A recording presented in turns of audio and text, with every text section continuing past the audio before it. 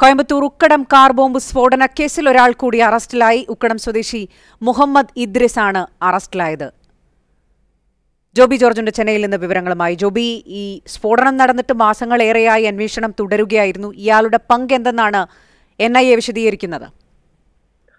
നിമ്മി രണ്ടായിരത്തി ഇരുപത്തിരണ്ടിലെ ദീപാവലി തലേന്ന് ഒക്ടോബർ ഇരുപത്തിമൂന്നിന് കോയമ്പത്തൂർ സംഗമേശ്വര ക്ഷേത്രത്തിന് മുന്നിലുണ്ടായ കാർ ബോംബ് സ്ഫോടനത്തിലാണ് ഇപ്പോൾ ഒരാളെ കൂടി എൻ ഐ എ അറസ്റ്റ് ചെയ്തിരിക്കുന്നത്. ഈ കേസിൽ അറസ്റ്റിലാകുന്ന പന്ത്രണ്ടാമത്തെ വ്യക്തിയാണ്.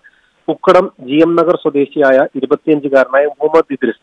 ഈ സ്ഫോടനത്തിന്റെ സൂത്രധാരനായ ജമീഷ മുബീന്റെ ഉറ്റ സുഹൃത്താണ് എന്ന് എൻ ഐ എ പറയുന്നു. ഈ ഗൂഢാലോചനയിൽ ഇദ്ദേഹത്തിന് പങ്കുണ്ട് എന്നുള്ളതാണ് എൻ ഐ എ പറയുന്നത്. കഴിഞ്ഞ ദിവസങ്ങളിൽ ഇദ്ദേഹത്തെ ചോദ്യം ചെയ്യുന്നതിനായി വിളിച്ചു വരുത്തിയിരുന്നു. അതിനുശേഷമാണ് ഇപ്പോൾ അറസ്റ്റ് രേഖപ്പെടുത്തിയിരിക്കുന്നത്. കോൾ രേഖകൾ പരിശോധിച്ചും നേരത്തെ അറസ്റ്റിലായവരുടെ കുറ്റസമ്മത മൊഴി കണക്കിലെടുത്തും അതുകൂടി പരിശോധിച്ച ശേഷമാണ് ഈ മുഹമ്മദ് ഇദ്രിസിലേക്ക് എത്തിയത് എന്നാണ് എൻ ഐ എ വൃത്തങ്ങൾ പറയുന്നത്. അല്പസമയത്തിനകം ഇയാളെ പൂനമല്ലിയിലെ കോടതിയിൽ ഹാജരാക്കും. നേരത്തെ ഏപ്രിലും ജൂണിലുമായി പതിനൊന്ന് പേർക്കെതിരായ കുറ്റപത്രം സമർപ്പിച്ചിരുന്നതാണ്.